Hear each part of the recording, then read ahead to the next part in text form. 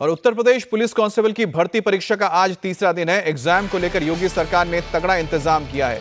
तो अब तक हुई गड़बड़ी को लेकर भी कड़ा एक्शन लिया जा रहा है। पिछले दो दिनों में परीक्षा में गड़बड़ी को लेकर 15 एफआईआर दर्ज किए गए हैं, जबकि 17 गिरफ्तारी हुई है। पुलिस कांस्टेबल के छाठ पदों के लिए भर्ती प्रक्रिया चार चरणों में पूरी होगी। सबसे पहले लिखित परीक्षा होगी, जिसमें पास होने वाले उम्मीदवार शारीरिक दक्षता परीक्षा, यानी कि पीईटी के दूसरे चरण में शामिल होंगे। पीईटी में सफल होने के बाद कैंडिडेट को दस्तावेजों की जाँच के लिए बुलाया जाएगा और इन तीनों चरणों में सफलता पाने वाले उम्मीदवारों को कांस्टेबल पद पर नियुक्त किया जाएगा। परीक्षा केंद्र है केपीएस कन्या इंटर कॉलेज। इसमें दो छात्रों ने एक ये आरोप लगाया है कि उनको प्रश्न पत्र खुले हुए मिले।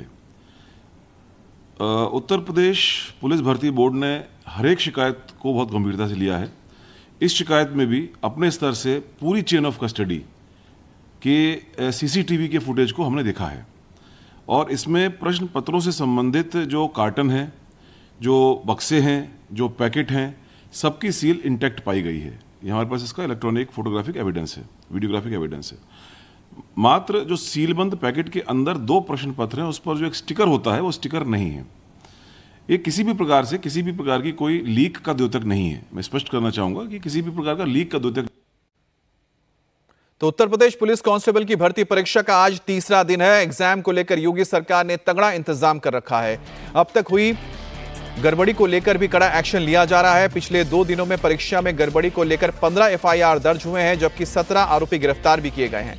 पुलिस कांस्टेबल्स के साठ हज़ार से ज़्यादा पदों के लिए यह भर्ती प्रक्रिया चार चरणों में पूरी होगी। सबसे पहले लिखित परीक्षा हो रही है, जिसमें पास होने वालों को फिर फ़िज़िकल टेस्ट के लिए बुलाया जाएगा। और फ़िज़िकल टेस्ट पास करने के बाद जो कैंडिडेट्स आएँगे, उनके दस्तावेजों की जाँच की जाएगी और फिर आखिरी चरण में इनकी भर्ती पुलिस कांस्टेबल के तौर पर की जाएगी। तो कांस्टेबल परीक्षा के लिए लाखों की तादाद में स्टूडेंट्स परीक्षा दे रहे हैं और अब तक दो चरणों की परीक्षा हो चुकी है। इसके अलावा 31 तारीख तक ये परीक्षा होनी है।